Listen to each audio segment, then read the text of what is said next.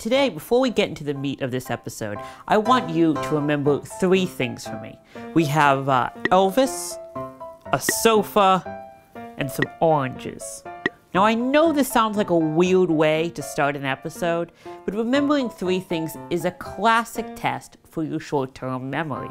Sometimes the process from new information to short term to long term memory can get interrupted, especially if you're of a certain age when forgetfulness can become sort of a problem. Well, that is our topic this week on a new episode of. of, uh. What is the name of this show? That's. Uh, oh, right, The Exam Room.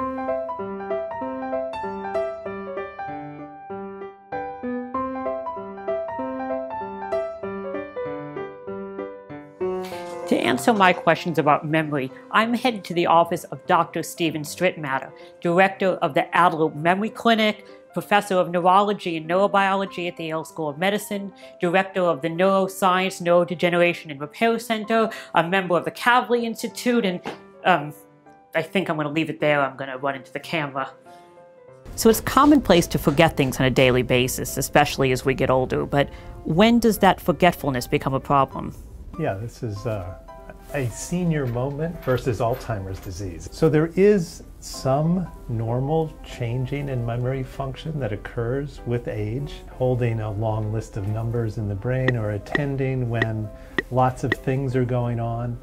This becomes less efficient as the brain becomes older. When it becomes a problem is when it's out of the ordinary. So simply forgetting your keys once or twice is not a big deal. But if you can't remember the name of a family member, um, if you get lost driving around and can't get home without help, these are things that are out of the ordinary. This is really disease. This is not at all part of normal aging.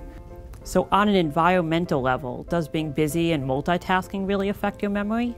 When there's uh, multiple inputs, multiple tasks going on simultaneously, this becomes, it's harder to attend for anyone to learn something when you're bombarded. But that especially becomes more difficult as a function of age.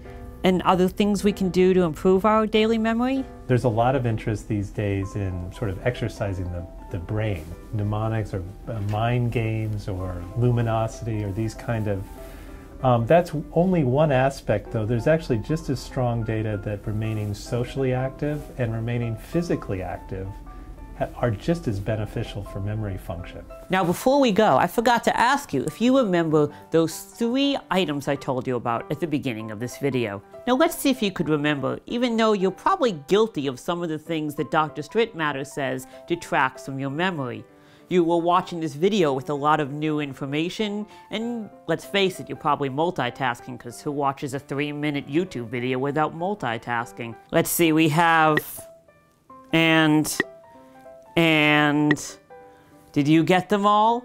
Congratulations! For the Yale School of Medicine, I'm Noah Golden.